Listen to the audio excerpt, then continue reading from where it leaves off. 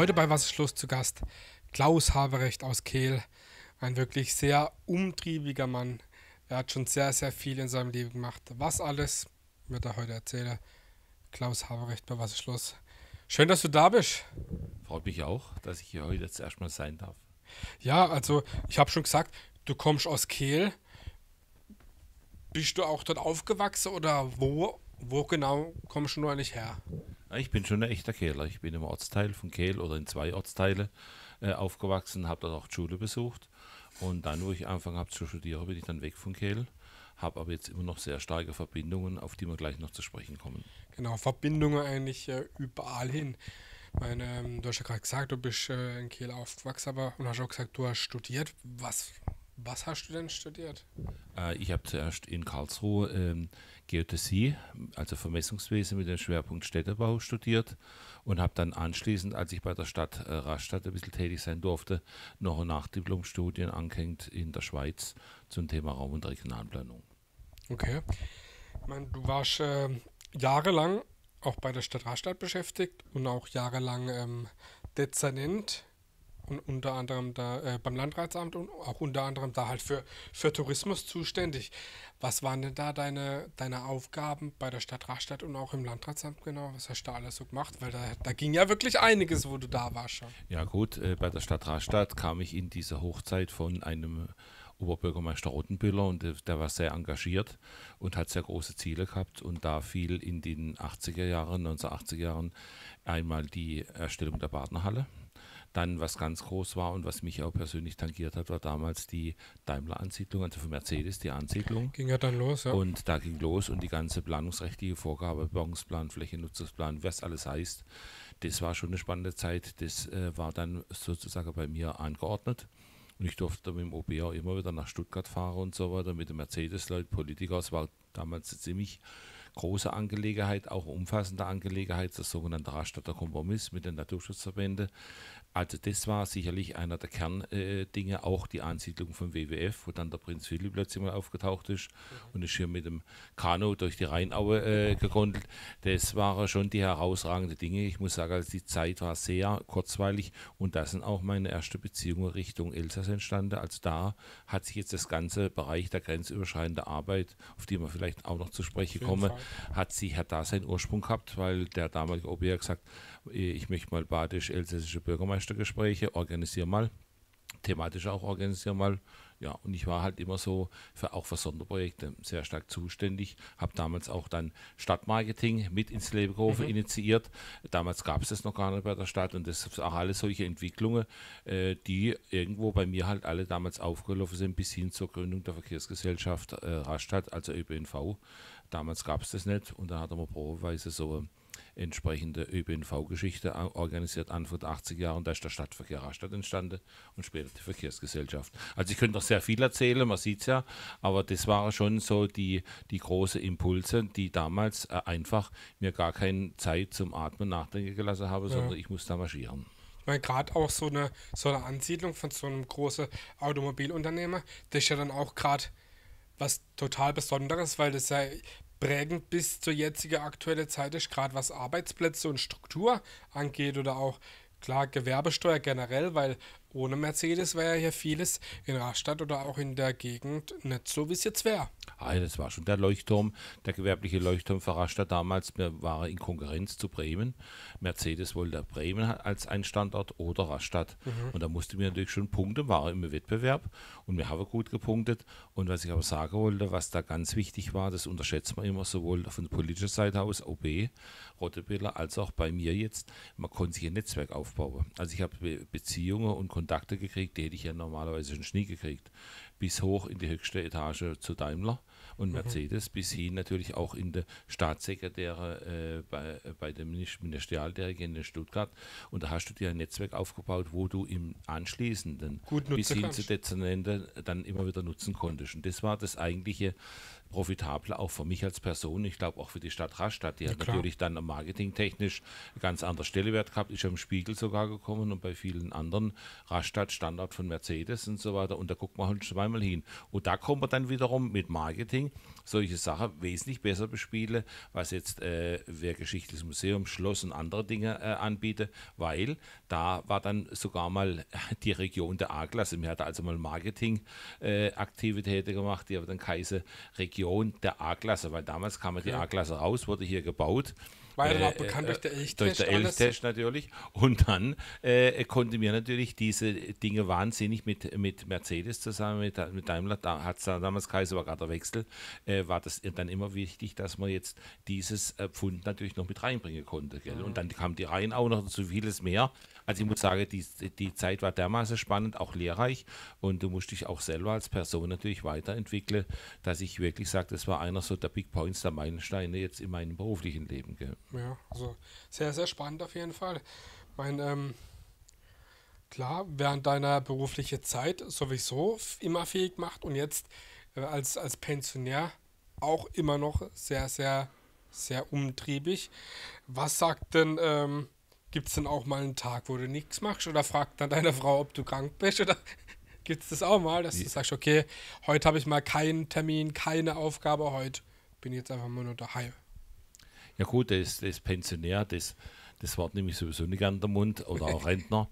Ähm, Ich denke, das ist jetzt auch so, äh, äh, da hast du ein Stück weit in die Gene oder hast du nicht in die Gene. Also ich denke, Ja. ähm, für mich ist Arbeit nicht die Arbeit, die sich allgemein jeder vorstellt, sondern ich sage es einfach mal, die Mobilität. Und für mich ist wichtig, dieses Dreieck äh, Geist, Körper und äh, Seele, dass dieses Dreieck funktioniert. Und äh, im Gegenteil, seit ich jetzt, ähm, sagen wir, nicht mehr in meinem Job als äh, Dezernent bin, ähm, bin ich äh, fast nahezu genauso beschäftigt, was die Stundenanzahl anbelangt, vielleicht ein bisschen weniger, aber das ist ja gut für da oben, für den Kopf, denke ich. Du rostest ja nicht ein und auch äh, fürs, fürs Allgemeinwohl ist gut. Und ich habe ja nicht umsonst immer wieder lebenslanges Lernen propagiert und diese Gehirnzelle da oben, die brauche ich auch entsprechendes Futter. Insofern ähm, sehe ich das äh, von dieser Warte viel entspannter. Wichtig ist nur, dass du keinen Die-Stress hast. Man redet ja immer von Stress und Belastung. Jeder heutzutage redet, oh, ich bin so eng und so. Ähm, man muss überlegen, ist die Belastung positiv? Das heißt, bringt dir das was? Machst du das mit Leidenschaft? Ja.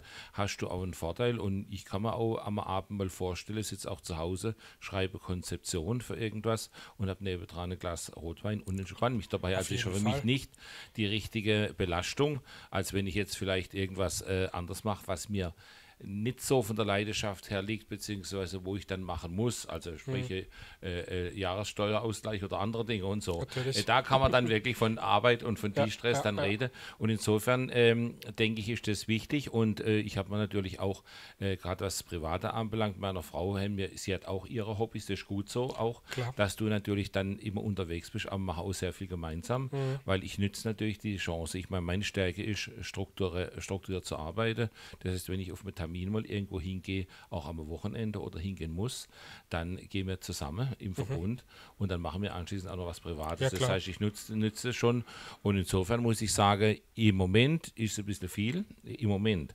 Aber äh, ich möchte es nicht missen, dass ich jetzt auch in dieser Zeit, äh, sagen wir, die Leidenschaft noch habe, einige Dinge äh, zu machen und muss mir keinen Gedanke machen, äh, äh, was ich abends tue oder welches Fernsehprogramm Das wo und wann läuft und so. Also ich habe, glaube ich, in den letzten Wochen relativ wenig, vielleicht mal eine kurze Nachrichtensendung angeschaut, schon nichts. Ich komme gar nicht dazu, weil ich viele andere habe, die mich aber interessieren. Gell? Und die auch kommen- weiterbringen. Genau, und die kommen halt von meiner früheren Tätigkeit. Klar. Wenn ich an die Entwicklungspolitik denke, wo ich in Asien war oder die Konzerte und was weiß ich was. Ich habe ja breite gefächerte Geschichte. Du wirst mich nachher sicherlich noch das andere da zu befragen. Und insofern und so weiter, muss ich sagen, bin ich mit der Situation rundum zufrieden. Du bist außerdem Vorstand vom äh, Mittelstandsverband.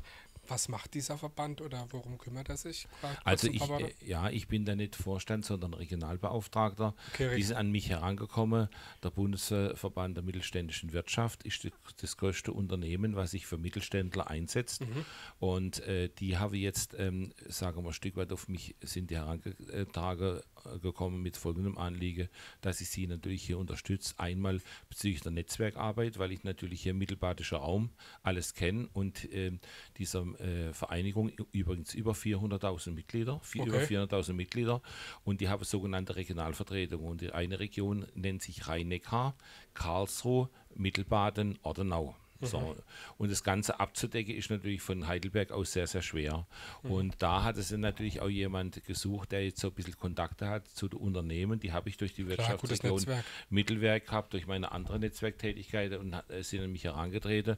Und ich habe natürlich da äh, gleich gesagt, okay, ich bin gern bereit, aber weniger in der Akquise, sondern mehr, dass ich Thema, äh, Themen äh, entsprechend problematisiert, Themen anspricht, die jetzt zum Beispiel sehr wichtig sind. Beispiel Mobilität ist jetzt so ein bisschen mein Hobby, Güterverkehr, jetzt diese ganze äh, Lieferkette-Diskussion, da der LKW von der, von der Straße, Schiene, das ganze Zeug. Und da mache ich sogenannte äh, Einzelveranstaltungen auch jetzt äh, zum, äh, in letzter Zeit auf dem Baden-Air-Park, wo ich das Thema Güterverkehr mit äh, namhaften Referenten dann äh, mhm. entsprechend mhm. angedockt habe oder stehe auch zu anderen vor Investoren zur Verfügung und natürlich die Unternehmen berate in dem Bereich. Mhm. Auch bist du Vorstand vom Kehler FV. Mhm. Was sind da deine Aufgaben? Ja, also da äh, muss ich sagen, ich bin nicht Vorstand, bin Präsident seit 26, 27 Jahren. So, aber das ist, weder, das ist weder Abwertung noch Aufwertung. Ist das sondern, nicht ähnlich, was ähnliches? Oder? Ja, ich bin halt da glücklicherweise, äh, bin ich, äh, also mich hat man angesprochen 1995 mhm. und da war die finanzielle Lage ein bisschen undurchsichtig beim Keller e.V. und dann habe ich gesagt, Vorstand mache ich nicht und dann haben sie gesagt, ja, aber sie wollen unbedingt, dass ich was mache. Dann habe ich ja. gesagt, okay. Und so ist der Präsidentenstuhl da entstanden. Okay. Es gab noch keinen damals mhm. und den habe ich heute noch inne, gleichwohl heute der Präsident unserer Satzung natürlich auch äh, sehr viel Verantwortung hat und auch für die Grundziele äh, verantwortlich ist. Und ich muss und mache jetzt nebenher kommissarisch auch der Marketingvorstand. Wir mhm. haben also Präsident, drei Vorstände, einer davon ist Marketingvorstand, den mache ich jetzt auch noch mit. Okay. Und da bin ich, äh, am Anfang war ich da auch sehr intensiv im operativen Geschäft drin, jetzt mehr im repräsentativen und im Grundzüge Strategieentwicklung. Wie wird der Verein geführt? Äh, wir sind ja ein relativ großer Verein mit fünf Abteilungen. Mhm. Ist nicht nur Fußball, ist Leichtathletik, Breitesport, Trendsport, habe ich zum Beispiel Capoeira, okay. äh, brasilianische Kampfkunst, haben wir da solche neue Abteilungen auch ein bisschen eingeführt, um auch die junge bisschen, die junge ja, Leute klar. ein bisschen bege zu begeistern. Also nicht noch einer Fußballverein.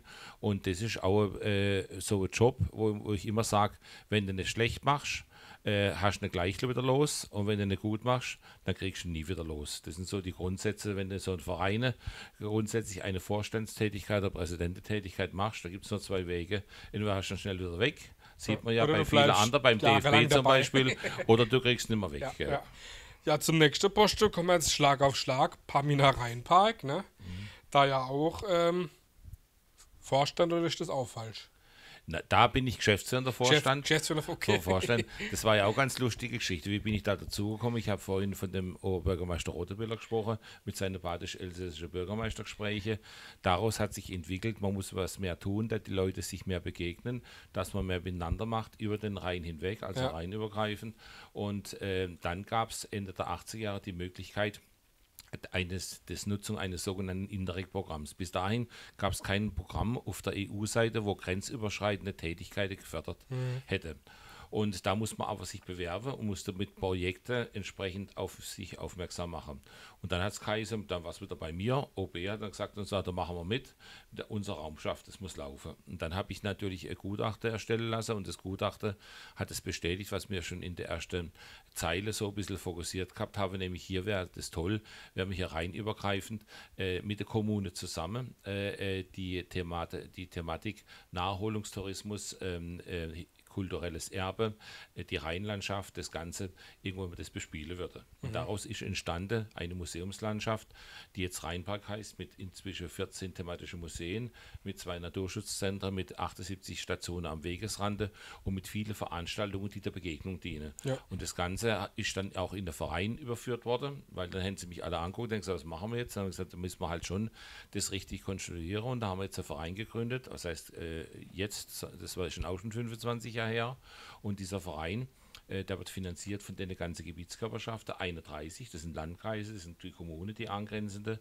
Der Rheinpark, der geht ja bis vor den Toren von Straßburg, Herlesheim, mhm. runter bis Richtung Germersheim und auf der linken und rechten Seite jeweils 10 Kilometer vom Rhein entlang, äh, also immerhin 1000 Quadratmeter, 1000 Quadratkilometer groß, ja 1000 Quadratkilometer groß, also größer als der Landkreis Rastatt zum Beispiel. Ja. Äh, und ähm, wir tun jetzt halt Projekte hier initiieren mit Machers Marketing. Äh, wir tun äh, Begegnungen initiieren, umsetzen und bedienen uns natürlich sogenannter Rheinpark-Guides, die wir ausgebildet haben. Und das ist ein tolles Projekt, insbesondere wenn man denkt, dass ich nur noch eine Person habe, die das hauptberuflich macht als ja. Geschäftsführerin, die Frau Sitter. Ja. Und äh, äh das habe ich auch nicht gedacht, da dass ich das mal so, dass da sich so entwickelt. Ja, ja. Und äh, das ist jetzt auch so ein Punkt, äh, das läuft jetzt so. Und das Schöne ist natürlich hier, du machst alles paritätisch, alles ist Deutsch-Französisch. Im Vorstand sind wir genau fünf Franzosen, fünf mhm. Deutsche. Wir, wir sind äh, überall, wenn wir in Aktionsgruppe irgendwas machen, auch immer äh, grenzüberrein überschreiten. Und das macht richtig Spaß. Und was das Tolle ist, ich kann wirklich sagen, in den 25 Jahren sind die Leute sich näher gekommen. Und als es mal nicht so geklappt hat wie bei der Pandemie, da hat es Irritationen gegeben, ja. dann waren die Leute alle sind zusammengestanden und wir haben eine Resolution gemacht, nachher Manifest und haben das dann Richtung äh, Berlin, Richtung Stuttgart, Richtung Paris geschickt und haben gesagt, so geht man nicht mit uns um, umeinander hier an der an der Grenze, Grenze, am Rhein. Und das sind also solche Aspekte, die äh, sind dann schon positiv bei dir auch fest verankert, wo du sagst, ah, es bringt doch was, äh, äh es hat doch Ansätze. Und das kann ich beim Rheinball wirklich sagen. Die äh, Leute auf der anderen Seite von Sels und Beinum und die, Stra und die ähm, Rastatter, die kommen sich näher und es geht jetzt runter bis in die Pfalz. Und jetzt machen wir Kulturveranstaltungen, ganz große und so weiter, wo wir Künstler aus alle drei Regionen ja. bringen, ja. immer in unterschiedliche Orte. Wir bespielen also die gesamte Raumschaft und mit der Stadt Rastatt werden wir ja auch vielleicht bald was zusammen machen, wenn ich an Fall. diese äh, grenzüberschreitenden Märkte äh, dann denke. Ja. Wie wichtig ist für dich die deutsch-französische Zusammenarbeit? Ich meine, du bist ja damit sozusagen ja, ich will nicht sagen aufgewachsen, aber groß geworden oder du hast, du hast es auch zu Wachse gebracht. Aber klar, ähm, wir sind trotzdem ein Europa, aber wie, wie wichtig ist für dich die deutsch-französische Zusammenarbeit und Zusammenhalt?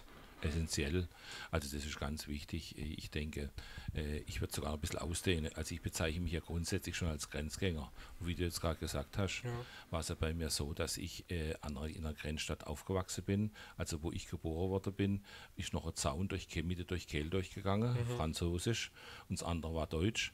Und äh, ich konnte das Ganze hautnah sozusagen immer wieder erleben. Mein Vater ist mit mir, wir sind fast wöchentlich, waren wir in Straßburg und äh, im Nachhinein äh, hat es, war das schon die Grundlage für meine Tätigkeit, nicht nur hier im grenzüberschreitenden Bereich, sondern im europäischen Kontext. Ich gehe sogar weiter. Ich wäre nie in die Entwicklungspolitik gegangen, wenn nicht hier die Ursprünge gewesen wäre. Und insofern ist das für mich überhaupt gar keine Frage mehr, weil ich, ich denke global und handle regional. Ja. Und, und, und, dadurch, und da gehört natürlich das automatisch dazu, das ganz wichtig. hat das Geld überall. Und das sind so Punkte, wo sich viele selber mal hinter die Köpfe schreiben sollten, weil das ist so eine äh, Sache für mich, wo ich mich sehr schwer tue mit dem äh, ganz national ausgerichteten und immer denke, so, ich lebe auf einer Insel und kann alles selber regeln. Das geht nicht mehr. Die Zeit hat sich so entwickelt und es ist halt so und dieses interkulturelle Bespielen auf alle Ebenen äh, ist eine Grundaufgabe. Sonst kannst du auch die großen Probleme, sei es Klimawandel oder anders, kannst du gar nicht lösen. Wenn jeder auf seiner Insel lebt, Nur dann du da vor sich hin, hast du keine Chance, um mhm. die Frage äh, so ein bisschen allgemeiner zu beantworten. Ja, ja. Nur gemeinsam geht's. Ich meine, du hast auch schon angedeutet gehabt, du hast sehr viel auch für äh, Entwicklungshilfe geleistet. Warst mal äh, sehr viel auch im Ausland für das Projekt Brot für die Welt, habe ich äh, gehört gehabt. Erzähl mal da ein bisschen was dazu. Ja, das war auch ganz wieder lustig. Da sieht man, wie so, wie so Entwicklung beim Menschen gehen kann. Äh, ich äh, war äh, angefangen in einer Jungschar in einer Kirche, war dort Mitglied, bin dann plötzlich dann aufgestiegen, war dann Mitarbeiter vom Jugendleiter, war dann Jugendleiter, war dann plötzlich im, im Stadtjugendring Vorsitzender mhm. Äh, als evangelische Jugend noch und im Rahmen von dem habe ich Freizeit äh, äh, Leitungen durchgeführt. Da war ich zwischen äh, 19 und 25 während der Studiezeit war das hauptsächlich und habe in dem Zusammenhang äh, schon damals äh, versucht, äh, an Aktionen teilzunehmen, äh, ja. Aktionen zu machen. Und eine Aktion war die Winteraktion Brot für die Welt. Äh, so.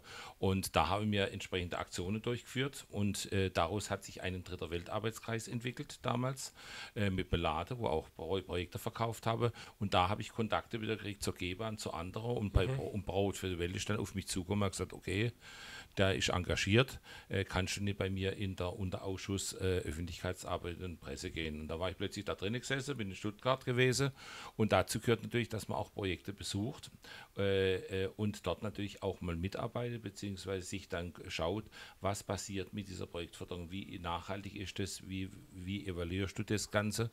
Und da habe ich dann meine erste Reise gemacht nach Sri Lanka 1977, dann Indien, Malaysia, Indonesien, Simbabwe und wow. viele andere. Und da sind auch dann wieder Folgeprojekte entstanden, mhm. teilweise immer noch in meiner Funktion als ähm, Mitglied in diesem äh, Unterausschuss Öffentlichkeitsarbeit, dann später aber als Dritter Welt und dann habe ich selber entwicklungspolitische Studiereise durchgeführt. Habe also selber mir 12, 15 Leute genommen als mhm. Multiplikatoren, das waren Leute von äh, Dritte Weltläden mhm. oder von, von anderen und die sind dann mit mir da runtergereist, da habe ich mal eine Rundfahrt gemacht in, in Sri Lanka, Rundreise und so habe ich alles selber organisiert. Wow. Damals mit der Arbeitsgemeinschaft Evangelische Jugend, mit der Evangelischen Landeskirche zusammen und so sind die Kontakte so weit entstanden, dass ich dann kontinuierlich gereist bin. Gell? Mhm. Ich habe heute noch Kontakte nach Sri Lanka und werde jetzt wahrscheinlich wieder, jetzt ist gerade wieder Not, da steht eine feste Hungersnot dort, werde ich wahrscheinlich jetzt ähm, über den Winter nochmal hinreisen, okay. weil da unterstützen wir noch ein paar kleinere Projekte ja. und es läuft. Und gerade dieses interkulturelle Lernen, das hat mir im Prinzip so wahnsinnig viel gebracht, weil diese ganzen äh, Dinge, die haben mir auch in meinem Job geholfen, als ja, Dezernent und als anderer, weil du hast einen ganz anderen Blickwinkel, weil du kriegst natürlich dann, ich meine, äh, andere Situationen mit von anderen Ländern mhm. und die kannst du wieder einbespielen, wenn du natürlich offen bist für ja, die ganze Geschichte. Ja, das heißt, ich habe wahnsinnig von diesem, von diesem breit angelegten Engagement in den Immer verschiedenen Bereichen Sport, äh, grenzüberschreitend, dritte Welt, was wir alles jetzt schon angesprochen haben, äh, hab, konnte ich alles Input geben in meine eigentliche Arbeit, umgekehrt aber genauso. Ja, und das hat mir natürlich äh, mir am meisten gebracht. Also ich mhm. muss sagen, ich bin da richtig gewachsen, sukzessive an dieser Geschichte, äh, ohne dass ich so richtig gemerkt habe. Das, das war einfach so. Es ging halt nebenher wahrscheinlich. Ja. Ne? Glaubst du, dass, ich sage jetzt mal wir, weil wir wohnen ja in der Grenzregion, glaubst du, Leute, die in der Grenzregion oder in einer Grenzregion wohnen, die fühlen sich mehr als Europäer, wie Leute, die jetzt zum Beispiel in Mitteldeutschland wohnen? Weil sie einfach mehr konfrontiert sind mit, mit anderen äh, Ländern, Kulturen oder ja. Es kommt darauf an, wie die Grenzregionen oder die Grenzregionen in sich arbeiten. Also wir können jetzt bei uns, wenn man der Oberrheingrabe nimmt, hast du ja einmal geschichtlich gesehen schon sowieso immer eine Nord-Süd-Bewegung gehabt. Ob das Römer war, Kälte oder andere, die sind ja immer durchmarschiert. Mhm. Topografisch bedingt war unsere Oberrheingrabe schon immer äh, ich sage jetzt mal, wechselseitige Beziehungen ausgesetzt. Was natürlich der Vorteil gehabt hat, dass dich laufend ähm, offener hast du mit der Sache auseinandersetzen. Mhm. Ob du jetzt dagegen warst, ob das gut war oder nicht, spielt keine Rolle. Ja. In hinteres Schwarzwaldtal oder in irgendjemand, äh, ohne dass ich das werden möchte, oder in der Bayerische Wald, Kommen die nicht so einfach. sind jetzt die damals nicht gekommen. Ja, klar. Und äh, gerade diese Raumschaft hier, mit den wechselseitig politischen Situationen. Wie oft war es Elsass-Deutsch und dann wieder Französisch, Auch viel wieder durch Deutsch. Flößerei dann früher. Dann, ne? dann, die ganze Flößerei, die Holländer, Niederländer. Das ja. heißt, das hat schon immer ein Stück weit zu uns dazugehört, sich mit dem auseinandersetzen zu müssen. Mhm.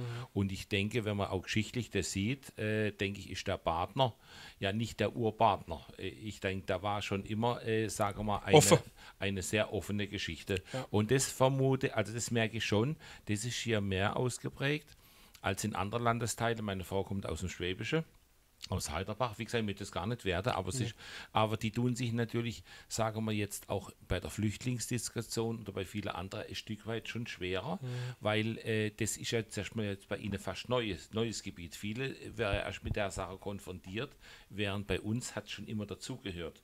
Und bei uns war ja das, äh, wäre vielleicht noch viel intensiver geworden damals, wenn der Rhein so meandriert äh, worden wäre. Erst durch Tula ja. sind ja dann ist ja Begradigung. Kanalbegradigung, sind die Brücke gekommen, die Übergänge, mehr aber immer noch zu wenig übrigens und so, äh, so dass ich schon glaube, dass da größere Bereitschaft ist und so weiter. Gleichwohl muss man sehr aufpassen, wie man mit der Situation umgeht, weil äh, wir müssen natürlich immer wieder sehen, wir sind zwar eine Raumschaft, wir haben äh, viele gemeinsame Grundlagen, mhm. aber zuerst mal sind wir jetzt zwei Nationen.